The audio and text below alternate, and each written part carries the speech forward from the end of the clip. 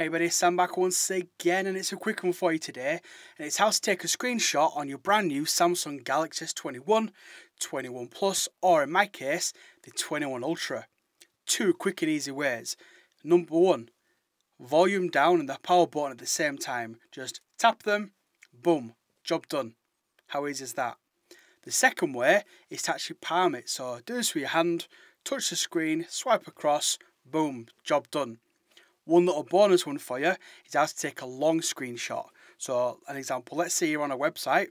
So let's say you're scrolling down, you're thinking, oh, you know what? I actually want to take a screenshot of a lot of this. Palm it. Little button here, click the little down arrow button. It goes down, tap it again, it goes down again. To keep tapping it for as many times as you'd like. As you can see, it keeps making it bigger and bigger and bigger. Once you're happy with it, just leave it as it is. It'll stop I think actually just uh, tap onto it actually, yep, and there we go. We've now got the full website, or as much as we'd like, within one screenshot. That's it. That's how I do a quick screenshot. Two easy quick ways on your new Samsung Galaxy S21 device.